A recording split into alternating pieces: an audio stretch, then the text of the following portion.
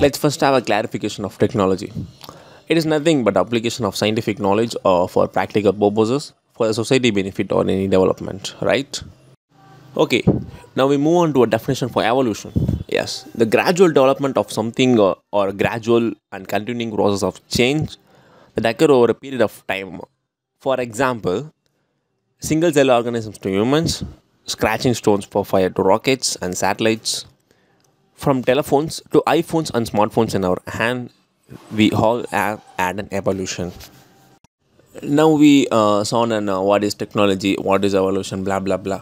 Okay, then we're going to see about basic technological evolution. The timeline can be divided into two parts. Okay, what is that? Pre-technological period, technological period. Pre-technological period is another thing, but the lifestyle of all the animal species that remain today and which also by the name notifies the timeline of prehistoric people where there is very less or no involvement of evolution of technology. Then what is technological period? Is what we add and we currently live to also accounts for. If we view technological evolution as a whole has just been achieved that we currently have in our life in three steps which is according to Czech philosopher Radovan Richta the major three steps are nothing but tools machines automations. Tools uh, examples uh, rock knife spears etc machines uh, we already know car bike train computer etc automations. All the machines where human is replaced by ai that is called an automation. Okay these are the basic technological evolution that has happened so far. And now we are going to see about the evolution of networking and related to it. Yes this is the most important thing. We are seeing to, we are going to see in our video. Again a basic definition of network will be a connection that enables the devices to share information and assets like uh, uh, scanner printer etc uh, which makes it uh, simpler to gather and organize data and helps in time management. Yes? Right. Now let's see how it evolved in the world of internet is also having three major developments. What are the three major developments? Aspanet nsfnet internet. Aspanet was came into the market on 1969 the first network that came into the existence and some basics uh, for the internet it has. Then nsfnet came into the market on 1980 network which is more capable of aspanet. Main name. To use network for academic research.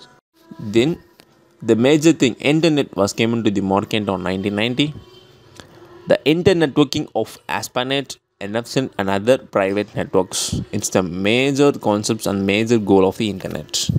Finally we came to the conclusion the next step in internet evolution right? Okay. Before going to see that we just brief out uh, what are the things we used with the internet.